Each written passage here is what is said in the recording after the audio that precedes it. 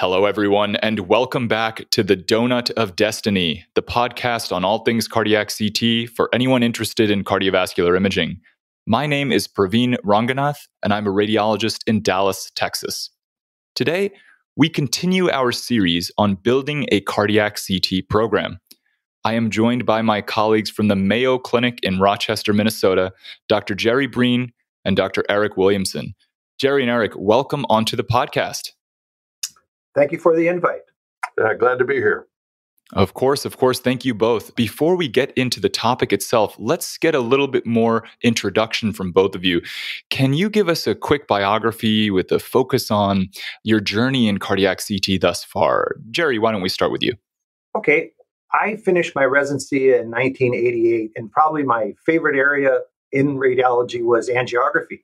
So I had planned to do a angio interventional fellowship here at Mayo then in my senior year, I was approached by the sole cardiac radiologist we had at the time, Paul Julsrud, who was practice was strictly limited to the angio room for pediatric congenital disease. And then also the chairman of the department and Patrick Sheedy, who was kind of a pioneer in CT. And we had just obtained an electron beam CT scanner, the Imatron, and we were just obtained, you know, MR, and we were done a very few congenital cases on, on a resistive magnet, but they said they really needed someone who wanted to pick up the focus of adult heart disease with imaging. And uh, would I be interested in going to a fellowship someplace in the world and learning more about the heart? And at that time, there really were only two places that radiologists were training other radiologists in, in heart disease, and that was at the Harvard system and at Stanford. And well, Stanford had much better weather, so I decided to go there. so I, I, in my year there, I, I did regular angio because that was part of the fellowship, but uh, had a fair amount of time in the cardiac cath lab.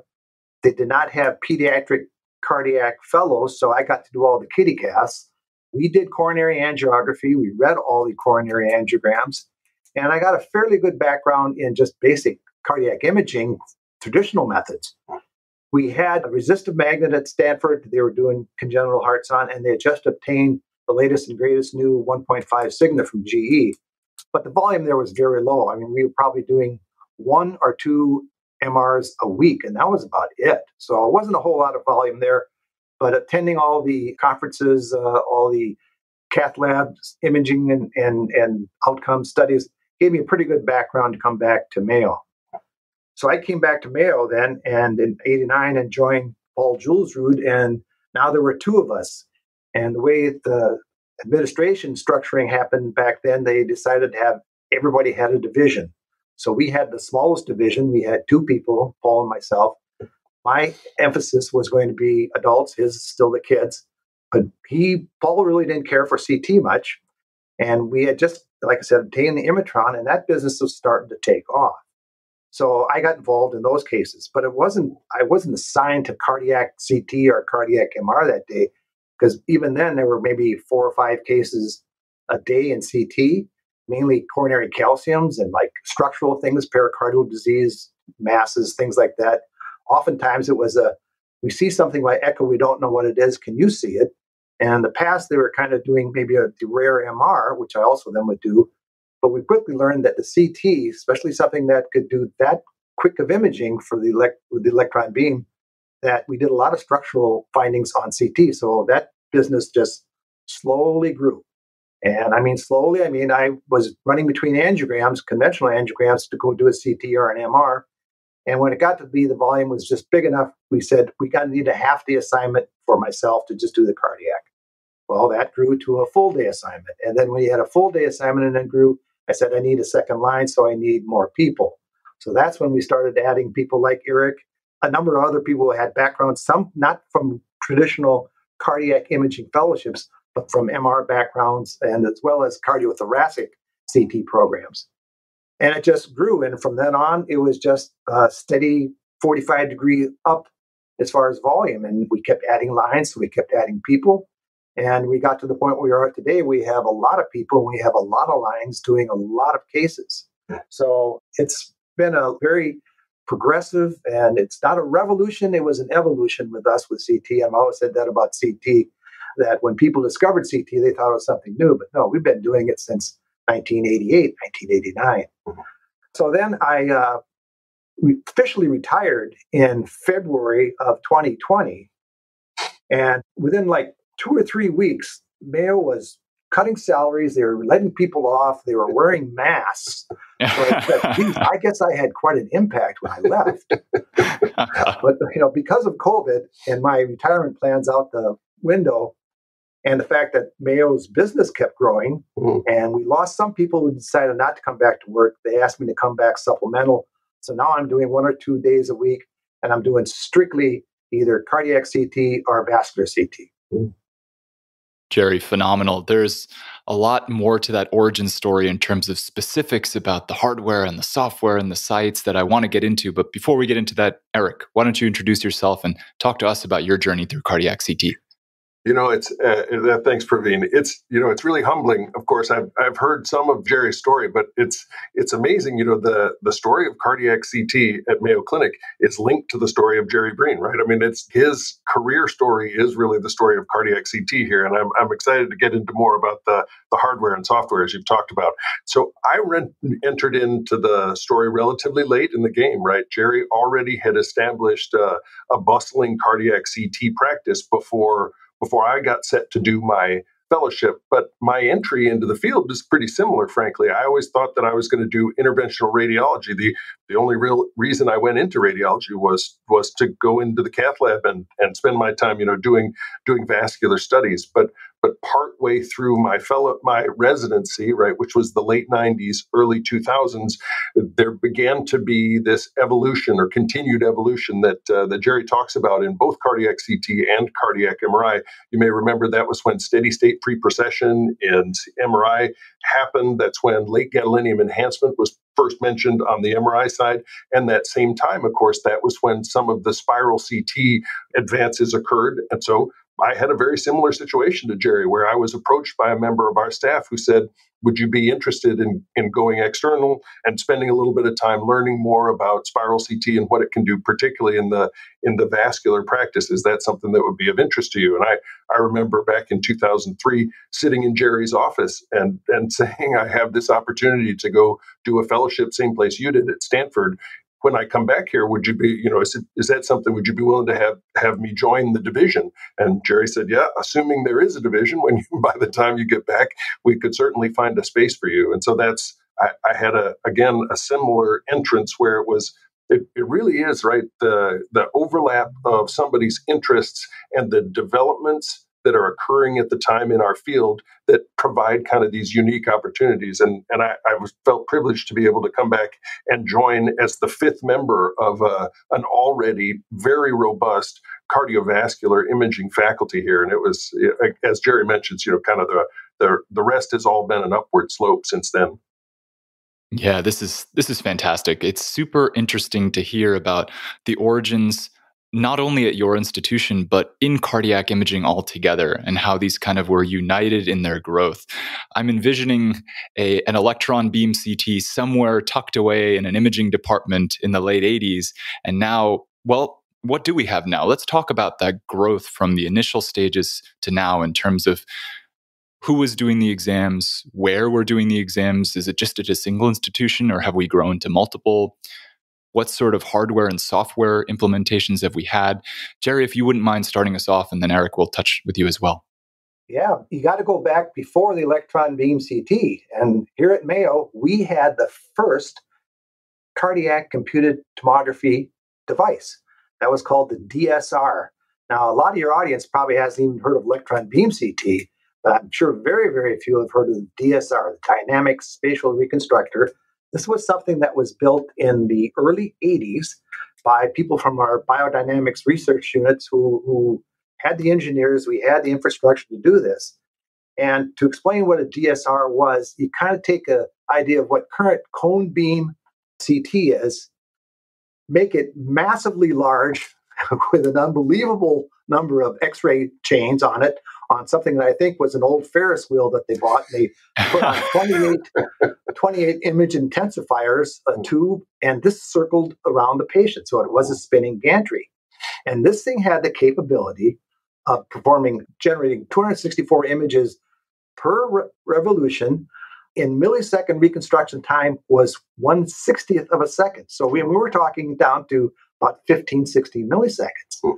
And so this was absolutely phenomenal. This thing was big with 14 X ray tubes. You can imagine so. You knew when they turned it on because all the lights in Rochester had it. it was massive.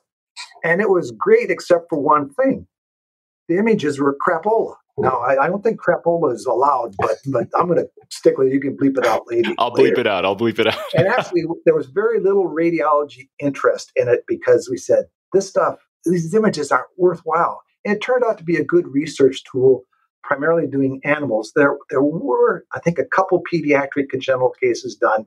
This is well before my time. And again, my kind of mentor and partner at the time, Paul Jules, said, ah, we're not this isn't going to fly. And there were some kind of really interesting papers out there saying the emperor has no clothes with this Mayo dynamic spatial reconstructor, and uh, really kind of negative that came from within the institution. So that's really something. It was the only one ever built. We did license it to an outfit in uh, Japan that never built one. So it was a mm. one off. It stayed plugged in almost until about 20 to our year 20 zero. And uh, it was primarily just doing animals. Mm. But at the time, I still remember the world news showing a beating heart on, it was on, maybe it was, I don't know if it would be Dan Rather, if it was even before his time showing it. And everyone thought, wow, that's pretty cool.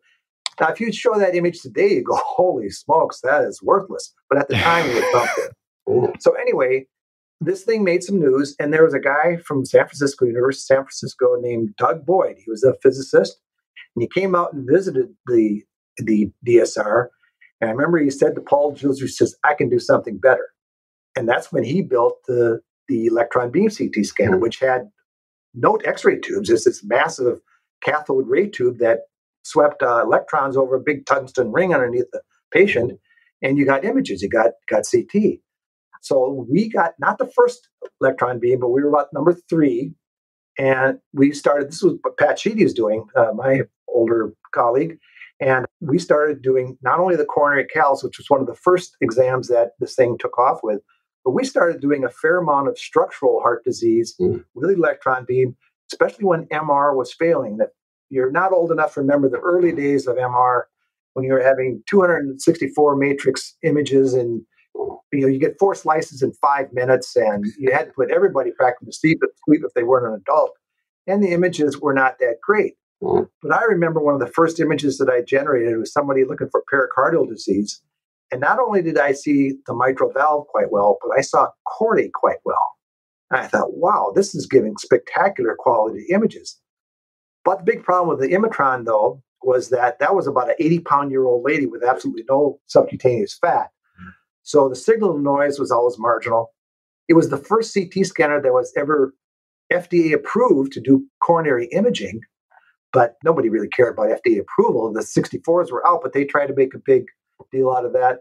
But anyway, we, we did we did not do standard coronary angiography other than for coronary anomalies. It was a great machine for coronary anomalies. And again, the quality of the images could be quite nice on a young patient. The temporal resolution was great. The reconstruction times were pretty bad. We would do a dynamic study where we're looking for LV or RV function, and we'd scan the patient in just a matter of a couple of breath holds. We'd go to lunch, and come back 30 minutes later and they weren't reconstructed yet. So it was, it was, it was not a high output scanner. But speaking about function, um, back in the early days when ARVD was an infectious disease back in about 1990, and everybody who ever got a cardiac MR was told they had right ventricular dysplasia. Mm-hmm. And we kept saying, no, that's not right. these images are not right. They're trying to overread fat and all this. So our first really big jump from pericardial and coronary calcium disease was we were Minnesota's referral then for ARVD. Mm-hmm. And it started more often than not when people up in the Twin Cities, St. Minneapolis, St. Paul, came down with that diagnosis. They had already gotten a, a defibrillator, so they got in a box, but it never went off. And they called back and said, Do you think this guy really had ARVD? And so we could do a, an Imatron scan. And we go, No, I don't think he has, has it at all. And so we all of a sudden got, because everyone who got an MR for ARVD got that diagnosis, we started building that practice. Mm-hmm. So that was, you know, kind of the Imatron era. when the 64s hit, we had the first 64 in the country. I remember my first reaction was, geez, this is pretty good, mm-hmm. especially if you get a decent slow heart rate. We could do diagnostic coronaries. Back then, we were more interested in ruling out disease rather than trying to truly quantitate the disease. But that's when the coronary business started to grow steadily. Then, you know, we do uh, other things with CT, and, and, but it really took off till when we had the first dual uh, tube system in the country, and we had the first flash system in the country, and we realized we can start doing a lot of things, uh, a lot of functional imaging, not just anatomic imaging. And here again, the practice just grew till we now got the recently have gotten the uh, photon counting CT, which is it's it was a little bit of a time gap from when the next last big jump was, mm-hmm. but this is now I think another significant increase in the quality of the imaging, and it's going to have more and more applications, and it's just going to get us more business. So that practice always grew. It's back in the early days of, of spiral CT, when especially we got 64 row scanners, mm. it seemed like about every four or five years, something new would come out. Mm. And when something new came out, we started doing more and more scans. Practice kept, just kept building and building. And now, like I said, it's a busy practice. Mm. This recap of the history makes me feel like, you know, Mayo has been pioneering in terms of every step in cardiac imaging and specifically cardiac CT over the past several decades. Many of our listeners are certainly aware that the Mayo Clinic is a premier academic institution in the Midwest, sees plenty of referrals from the area, but would like to get a little more context about a unique component to the Mayo Clinic that some of our listeners may not know about.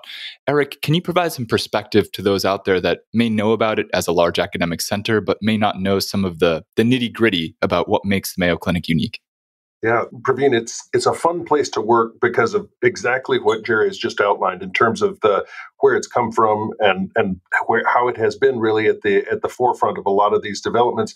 It, it may or may not be something that your listeners are are familiar with, but this was the institution that got the first CT scanner outside of London, in England. I guess it was right outside the London area in England. The the second CT scanner ever, the first one for full on diagnostic use, actually sits in a hallway exactly down one floor from where Jerry and I are sitting right now today. It's still it's still on display. And and so the the history of CT and the history of, of Mayo Clinic radiology are really inextricably linked. And I, think Jerry has very nicely outlined, you know, kind of how that how that has worked, particularly with regard to cardiac CT. And we've we've just been super fortunate in that we've we've always managed to be among the if not the exact first among the first in terms of early adoption of new technology.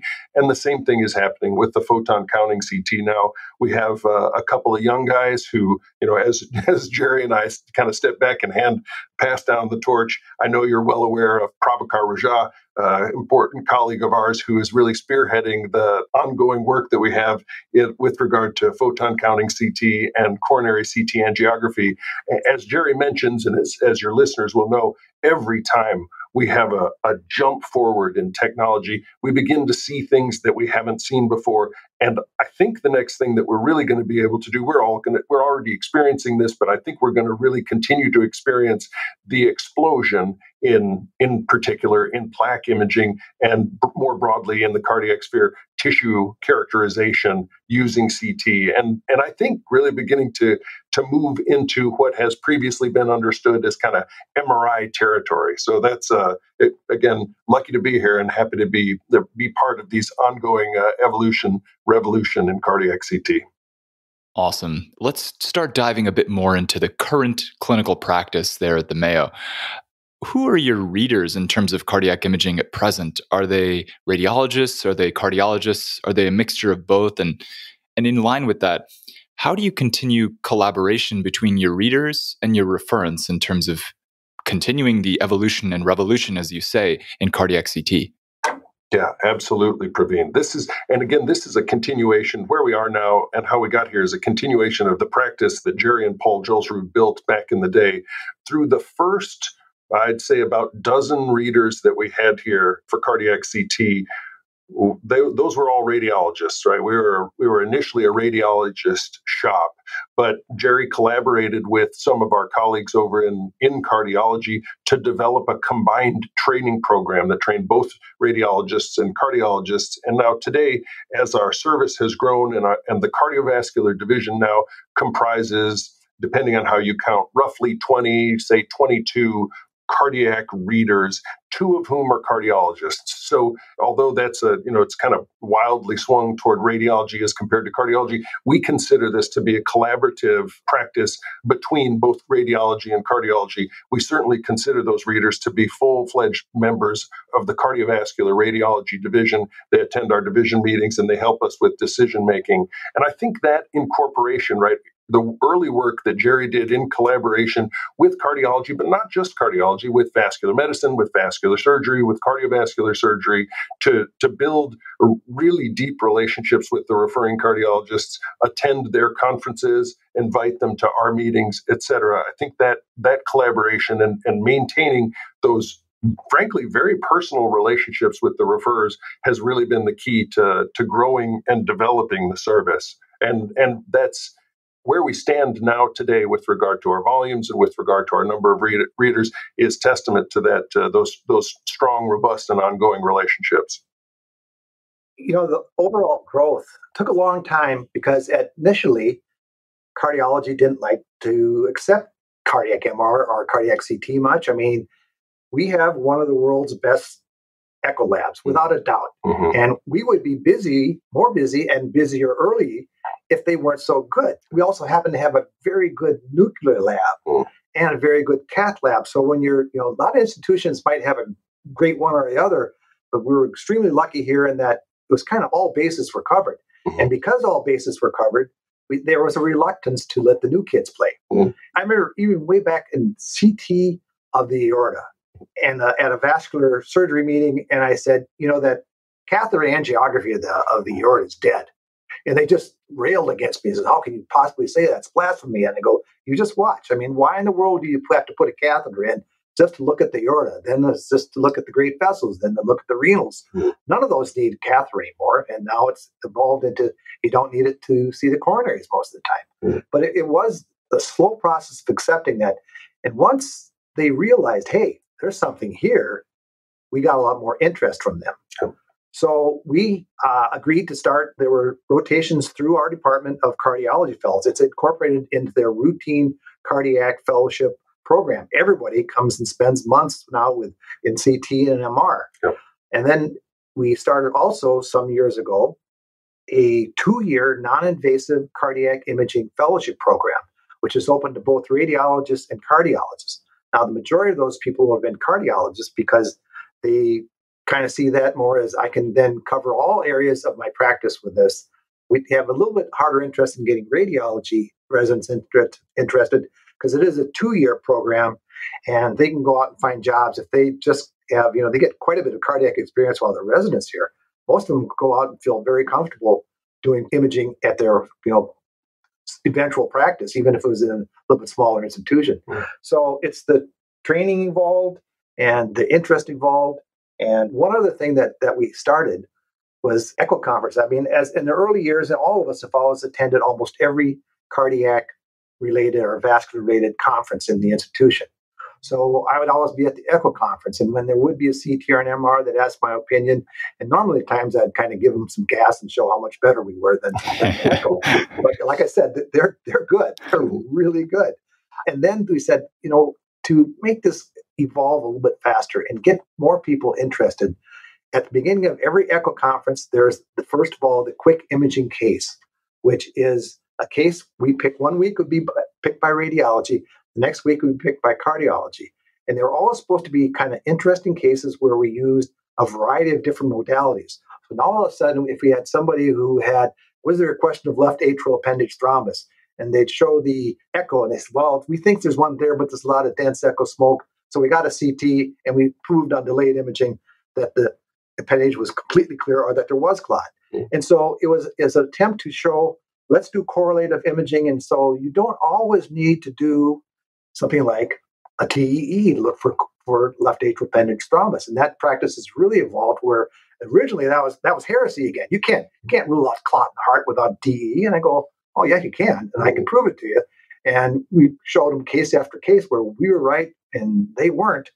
So now, like our ER comes in, somebody with a stroke. The stroke protocol includes cardiac imaging to look at the aortic arch, left atrial appendage, left ventricular apex, and they don't bother to go on to get TEE. So it's been a again a, a gradual evolution, but the interest from cardiology has spurred mm-hmm. our training and our, our involvement in the imaging cases on a on a daily basis. So the goal was to let's eventually get to a point where we're going to have a non-invasive cardiac imaging center, a building that has all the non-invasive procedures involved and modalities.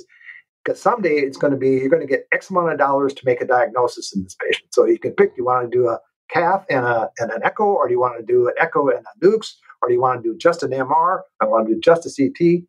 That hasn't happened yet. We've made two attempts to get the institution to give us a building, and both failed. And once again, I hit you know end of the career. I thought, nah, I'm not going to be Moses. I'm not going to try and create the, the promised land and then not get to participate.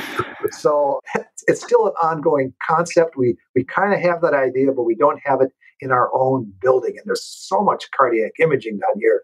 I know we could survive greatly. And when we're going to be forced to do it, so that we can't spend money on every one of these exams, you just should you just got to do the right thing. Mm. I remember at the after a few years of doing this conference, I got up and I said, "Let me let me have the day today," and I showed case after case after case where we had nukes, MR, CT, cath, and if they had any more money left, we'd we'd do a PET scan too. and we go, all right, guys, let's look at these cases. Do we really need to be doing this? Because I then I'd put all the costs mm-hmm. of all those, and you look at the cost of the imaging was just getting to be outrageous. Mm-hmm. So let's try and figure out what's the one test or two tests that we can do to get our all the information that we need.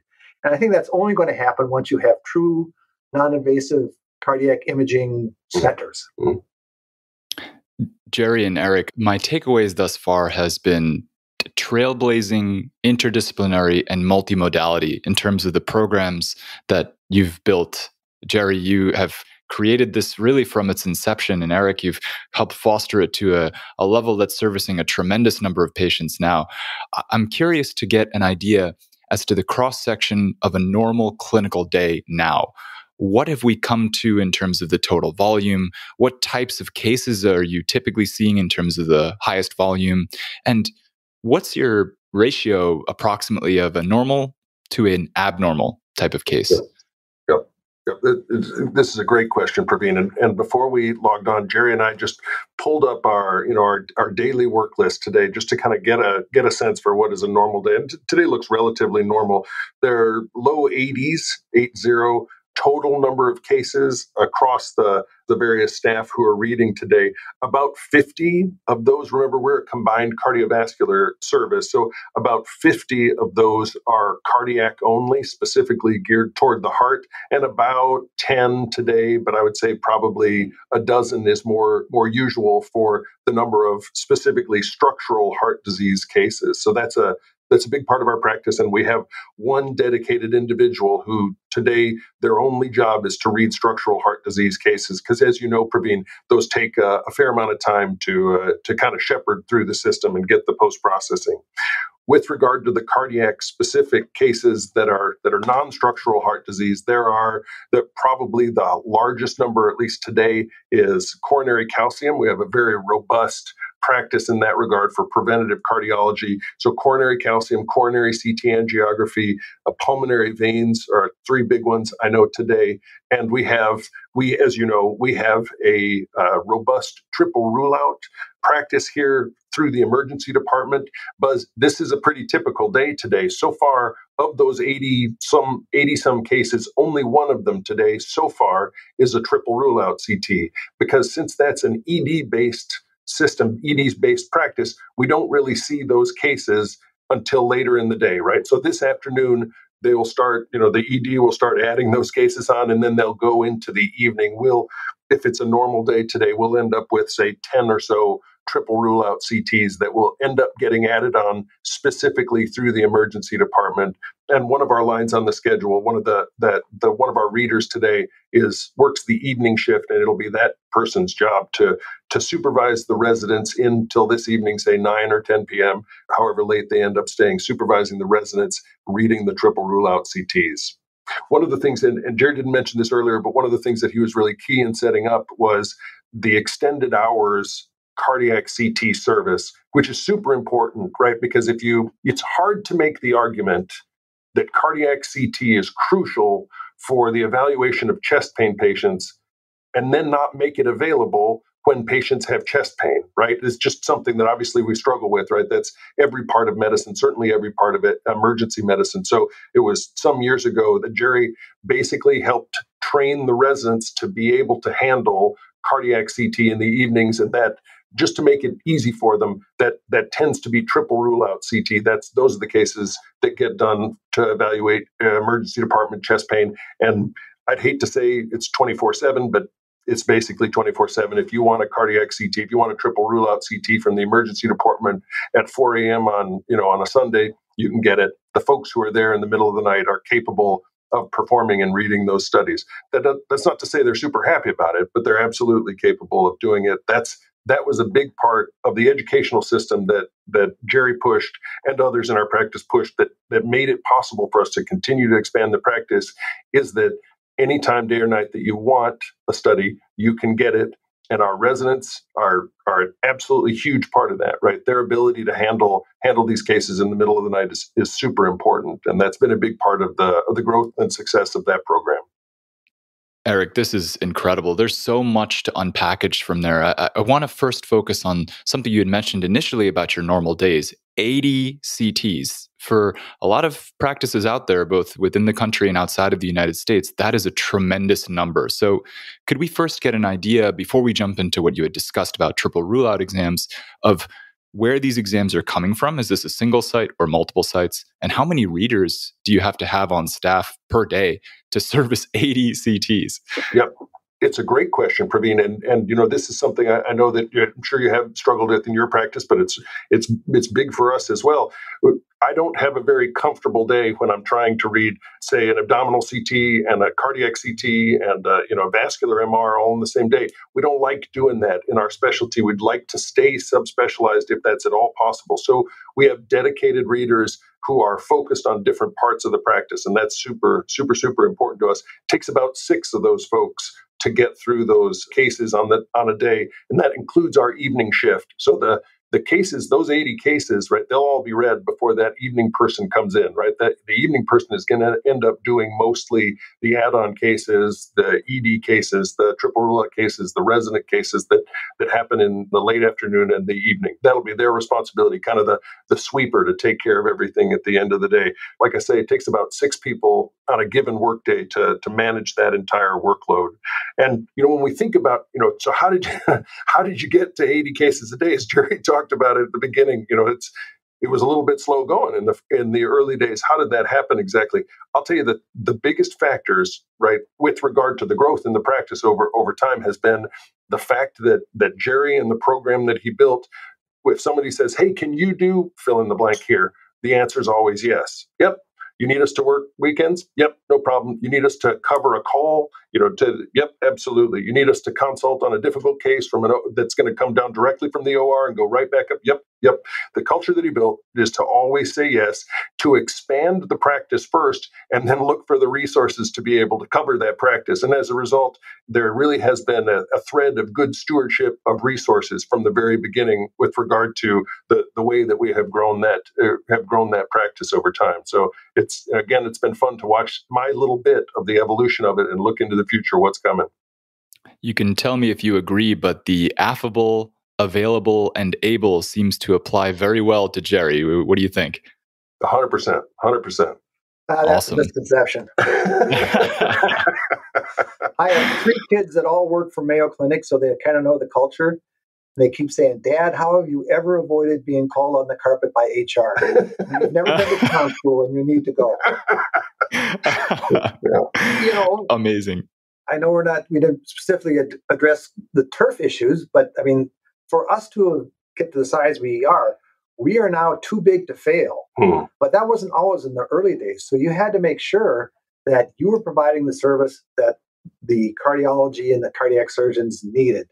And you provided quality images and correct interpretations. Hmm. So that it, that came down to it. So it, you know, this wasn't just handed to us. We hmm. had to fight for it, and uh, hmm. I think we've done a pretty good job holding on to a, a, a practice that that you know it kind of really is just centered in radiology. So we're a huge moneymaker now for, hmm. for radiology. Back in the early days, we were probably the lowest division for RVUs, and now I think we're getting to be we're probably even exceeding the neuro guys, and they always cheat. So uh, it. That's right. Jerry, that's that's fascinating. In fact, I feel like programs that even I have seen and been a part of building from the ground up recapitulate that exact idea where it seems at first that it's a little tough to justify creating this new, somewhat expensive service line. But once you provide a high quality service, your cardiologists and your surgeons see the value and they continue to help grow it together. So, could not agree more. And I think it still happens to this day. Obviously, you both have a very mature program, but with some of the newer programs around the country, it's still going on. And it's it's exciting to hear that this is a, a story that's been told before. Eric, you've you've described in a good deal of detail your triple rule out workflow. I wanted to get into that a little bit more because it's pretty unique in terms of your offering. Where did the need come from? How was it initially developed in terms of the conversations with your cardiologists and your ER physicians? And, and how do you go about performing these exams in terms of coordination from when the patient arrives with acute chest pain to reporting exam? Yep.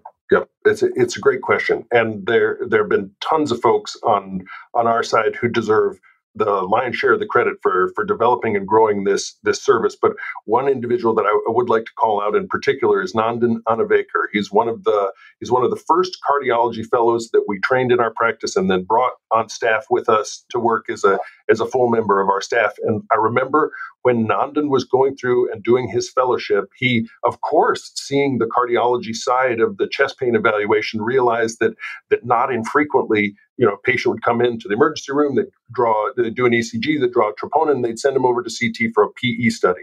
And and this, you know, this is something, of course, that's driven Jerry crazy for years. But but Nandan decided during his fellowship that he was going to quantify the number of times that you had a patient with uh, who got an ECG, got a got a troponin for chest pain, and then got a pulmonary embolism CT, and he just counted, and he said, came up with on average it's about three a day you know, that met this criteria that that kind of didn't make sense. Then, you know, after they get their PE study, which is invariably negative, then they go back and they would sit overnight in the chest pain unit and wait till the next day so they could be tested, do a stress test that usually usually nuke, sometimes echo, just to determine whether or not they had a disease that we could have ruled out the night before using CT. So that he basically presented this data, gave his account of the way that these patients were currently being managed, and then kind of stated for all of us, wouldn't it be better if there were at least an option for these patients to get a rule out of the disease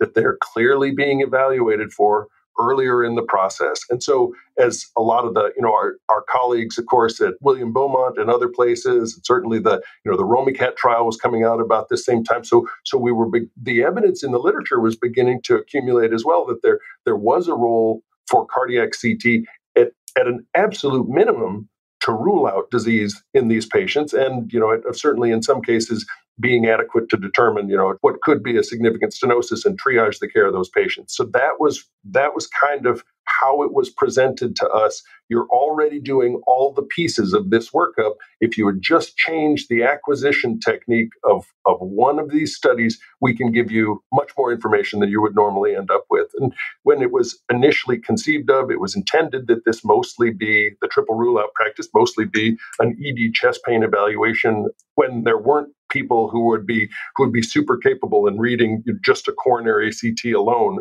but it has evolved over time. And like i say it's a it's a robust part of our practice. In terms of technical aspect we don't administer beta blockers to those patients. We of course do give them nitroglycerin and and the image quality i will say if there's a limitation the image quality because we don't beta block those patients is a little bit maybe the diagnostic yield is maybe a half a skosh less than it would be you know in our outpatient practice you know when we can really control heart rates and et cetera. But it's a bustling and it's a growing part of our practice. Some people love it, some people hate it, but our customers love it, and that that has to this point been kind of the the ongoing driver in the in, in why we perform that that particular practice.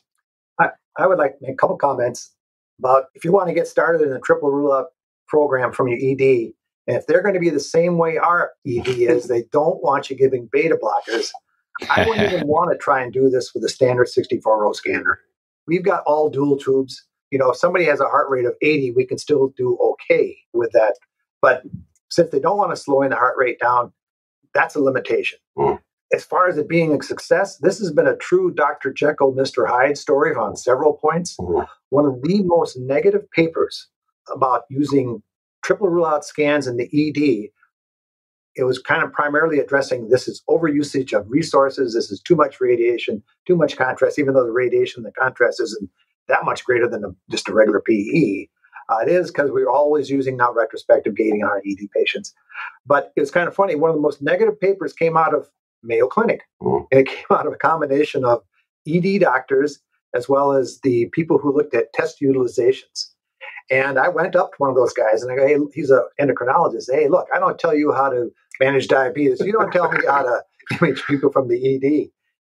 Well, from that point, it went kind of 180. It's we've gotten to be a little bit too successful because mm-hmm. right now, I mean, sometimes when you got the right two or three ED doctors in there, if somebody has a vowel in their name, mm-hmm. they're going to get a triple rule out CT. If anything shortness of breath or or you know chest pain, and if they have a vowel and a consonant, you're going to extend it into the abdomen. so it's, it's amazing.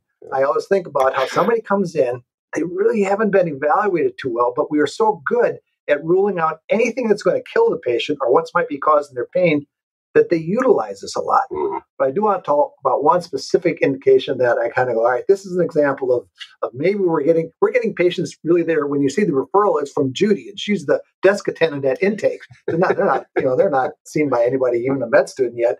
They come directly from the waiting room into the CT scanner. Mm-hmm. But there was a gentleman in his 60s who had a previous MI and had a LAD stent, nice big LAD stent, who came in with left shoulder and left arm pain. And I guess the concern was is this angina equivalent? Mm-hmm. He was so inebriated, though, that they really couldn't get a very good history out of him. Anyway, he got the triple rule out. I was reading him that night, and this is one of those cases where the study came out just beautiful. Mm-hmm. The LAD stent was perfectly large enough that I could see inside. I'm going, there's no reason for this patient to be having chest pain from PE or coronary disease or aortic disease or pneumonia, nothing. So I was just ready to click off, you know, sign when for some odd reason I looked at the little scout view, and his left arm and shoulder pain was coming from a dislocated left shoulder. Mm-hmm. So uh, that's probably a little too much overutilization. But sometimes it's crazy. You get the the right ED doctors. We're just you know they're coming every twenty minutes, mm-hmm. and it seems like they always start about three o'clock. So yep. it's been successful, but it's also been it's a little bit of a resource drain on on our CT scanners, and we have what five or six CT scanners right next to the ED, and, and several of those are capable of doing cardiac, and we tie up a lot of resources, and that's you know they don't even like us giving nitroglycerin because it slows down the you know re, throughput, you know, and that's just by a few minutes. Mm-hmm. So it's been a good thing and a bad thing, and I'd say it's it's overall, you know, if I was just coming in there with atypical chest pain, it's probably what I'd want. Mm. You know, so I like to treat people the way I'd be treated myself. But sometimes you just kind of go, whoa, we're doing a little bit too many because the uh, percentages of positive, you know, are really low. Really low. Really, I don't know. You know, our PE study positivity went from like 20% when we used to do pulmonary angiograms down to about 5% when we did cardiac C or vascular CTs on people. And I would say also that majority of people who are coming in for chest pain we're we're truly ruling out all three plus other things. So you have to balance the, how much good we did and how efficiently we did it to how much we're spending because you know they take two breath holds and their bill is in the many thousands. Yeah, it's it's really interesting point, Praveen, because as you know, as, as Jerry's pointed out, you asked this question earlier: what percentage of positives do you have? And and of, of all of our populations, it is that ED triple rule out population that is the most likely to, to have, have a negative result. Nobody comes to the structural heart disease practice without a disease, right? 100% of those cases are positive for something. And and I would say our vascular disease patients are are similar as well. There's no question that uh, you know that many of the patients that we see for for coronary CT angiography, many slash most have at least some degree of disease, whether functionally significant or not. But that ED patient population is not infrequently, as Jerry points out. And those are the negative cases that can be sometimes sometimes a little cringy to read. But it, again, it's been, I think it's, as Jerry points out, it's been a successful program overall, particularly since it, it makes the, the workup, I think, more efficient for the folks who are some of our most important customers. I got to tell you, I, I, think all of us have the utmost respect for our emergency department practitioners, but there are those ABCs of emergency medicine arrive, begin CAT scan. And this is this is just something that's pretty common across the country as CT becomes more available. at your institution, it sounds like there are trainees that are really on the front lines managing these emergency department patients. I, I, I myself and many of my colleagues, while we have great trainees, we have reluctance from our trainees to involve cardiac imaging in the emergency department or inpatient imaging in terms of coverage it sounds like you have built a very robust training program in which your trainees are integral to the emergency department care for acute chest pain or any sort of cardiac imaging for that matter. Yeah how? How did you do that? Uh, it's a no it's a great it's a great question. And you know as as with many of these questions and the and the growth of these practices there is you know some apocryphal story. And i remember very distinctly we were very nervous about this exact issue when we first put the program in. And jerry gave a series of lectures to the to the trainees so that they could you know kind of be prepared. Here are the practicalities of reading one of these studies. Here's how to you know get through a stack of images in a relatively short order et cetera. A bunch of practical considerations but the other thing that we did at the time, we had we had a lot of fellows in our practice, and so we told the fellows that they were going to have to cover a call patient pager because our residents were going to have to. At that time, we didn't have an evening shift, so after 5 p.m., the fellows on call carry the call pager, and they would be responsible if, if, if and when a triple rule out CT occurred. They needed to go in and take care of them. You know, whatever level of support the residents need. And I remember that we'd done we'd had this on for maybe a week, and there was a triple rule out study, you know, 10 p.m. or whatever. I came in the next day and I noticed that it was a resident who's a you know third year radiology resident who had read that case in the middle of the night, despite having never seen one you know, during the day at that point hadn't done a cardiac rotation yet. And I called him up and I remember saying, hey, Nate, you know, there's a fellow on call right? You're, you're aware, right? We've, we've got this, we've got this, this number is posted in every reading room in the ED. We have a fellow on call who's designed to help you with this study. Oh, by the way, incidentally, perfect read on that case. But, but you know, there's, there is a resource for you to, for you to avail yourself of. And I remember him saying, you know, I, there's no way that I'm going to call somebody to help me with a case that's my responsibility. And I, I just, you know, I remember remember where I was when I took that phone call. I thought, I, I think the training program's going to be all right. You know that, right? And this is a this is a resident who absolutely took responsibility for those cases, and that's this is a culture that Jerry and I didn't build, but but that we benefit from of people who who are taking responsibility for the for the stuff that's happened in the night.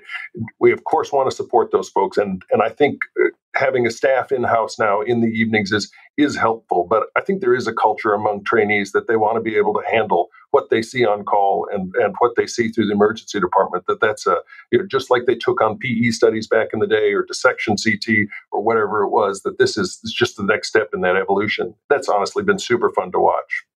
We, we also have a staff that's always on call too yeah. for further backup. But I think the staff only get called in on kind of complex cardiac MR cases rather than CT. You know, we correct some cases in the morning, and mm-hmm. Thankfully, most of the residents, if they're going to make a error, they're going to kind of err to. I think there's more disease there than what I'm going to read it as. Yep. And usually, we're in first cases, we're in early in the morning, and we'll stop people from like eventually going to the cath lab. We say, no, I don't think that's really necessary, and uh, you know, so we're putting out an amended report. So that at night they only put out a preliminary report, so the staff know that somebody's, uh, the clinicians know that the staff is going to review them. But overall, they do fairly well. We do have another colleague though, has really Phil Araoz, who's really taken yeah. this teaching business uh, to heart, and he makes sure that all the residents before they start call, we start our cardiac rotations now on first year residents. So they see our busy days right away. So they're seeing uh, those, you know, many cases a day. They're getting a pretty good handle on them, even as a first and a second year resident. They won't do the evening shift until the third year residents. But Phil also has a large number of cases where he has CT, angio, like maybe echo correlation and outcomes. So we, we want them to make sure they go through all those. So overall, they, they do a pretty good job. And one of the reasons why we started the evening shift was just because the volume had gotten so large. Yeah. But the volume of everything from the ED is so large that we had other staff complaining that our residents were using too much of their time Yep. doing these triple rule out exams. So at after 10 o'clock at night, they start to slow down usually. So it's like after the evening meal or something like that, or evening news that people had to come in. But uh, you know, it, it's it's not been horrible.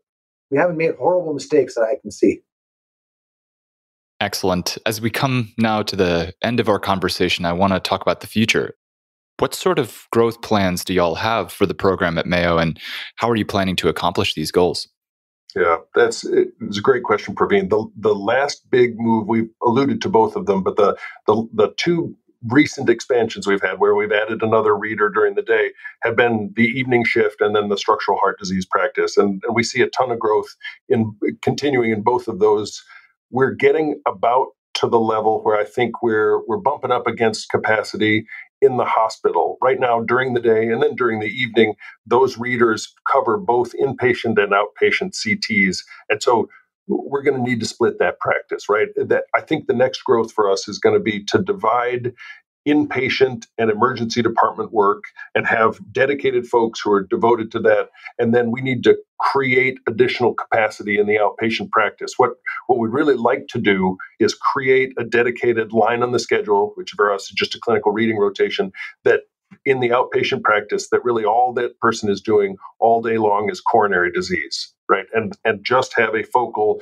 that's not structural not pediatric just adult coronary disease. And we think that that's a that'll be a way as we move from where we are right now in the we're in kind of dipping our toe in the water with regard to quantitative plaque imaging. As the as the plaque imaging revolution occurs we want to be able to to promote that with dedicated individuals who that's all they have to think about during the day. Again as you know that can be a complex there are complex issues to sort out with regard to plaque quantification and some of the qualitative aspects of those of those patients as well. So that's that's where we see the next growth and and we really would like to have again as i mentioned a dedicated service where people are not are able to focus their effort and energy on that rather than being distracted by all the other pieces of, of a robust uh, cardiovascular CT practice. That's where we see the next leap forward in our practice.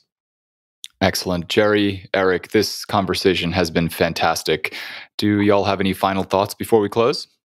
Well, I have just one, and it's kind of directed at your audience who maybe are not doing any cardiac CT right now or much, and uh, primarily to radiology residents or, or radiology staff out there who are somehow they are reluctant to get into cardiac CT. Either they're busy enough, or they say that's just getting to be too complex.